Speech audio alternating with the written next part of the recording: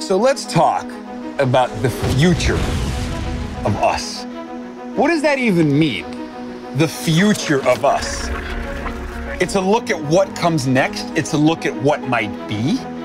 Because today, exponentially emerging technologies are transforming what's possible. They're helping us overcome, transcend even biological limitations.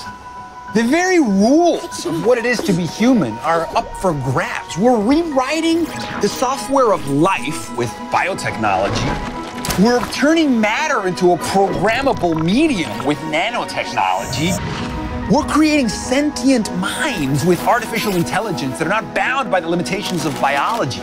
These three overlapping revolutions, GNR, genetics, nanotechnology, and robotics, together will be leveraged to lead us towards a black hole like, impossible to fathom singularity. It's like staring into the sun, a moment of a rousing symphonic climax when all of mind, leveraged and networked together, transcends its biological origins and we become something more.